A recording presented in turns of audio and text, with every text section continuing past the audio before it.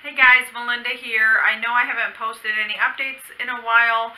Um, between going on vacation at Thanksgiving and now setting everything up for Christmas, I just haven't had time. I have filmed a lot of my 30 bags in 30 days videos, but I just haven't had the time to upload and edit them and get them posted on YouTube.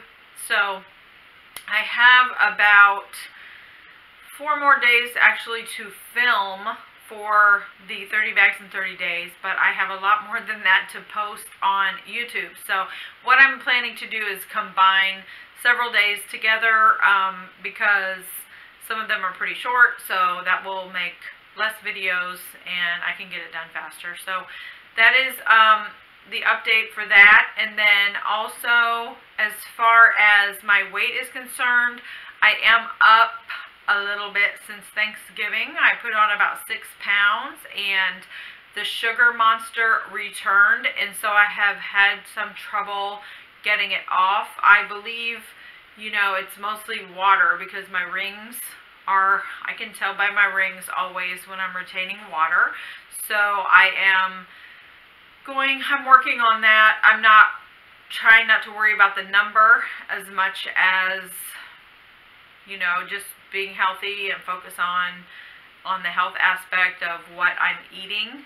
So I plan to um, not consume sugar throughout this Christmas season. I know it sounds difficult, but I have done it before.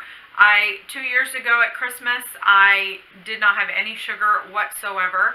Last Christmas was a different story, and um, I am a purchasing agent, so we get a lot of sweet treats from suppliers, and it makes it hard to at least not try the things because there's something different than what you normally would get, but it's okay. I'll get it next year, so I'm just going to uh, refrain from from that, and I am going to probably make a few keto treats for myself to just help me to be able to maintain um, my sobriety from sugar. So that's all I have for the update right now. And um, I'll post another video to talk to you about what I plan to do next year. And hopefully I can get more organized and get on some kind of a schedule for YouTube videos.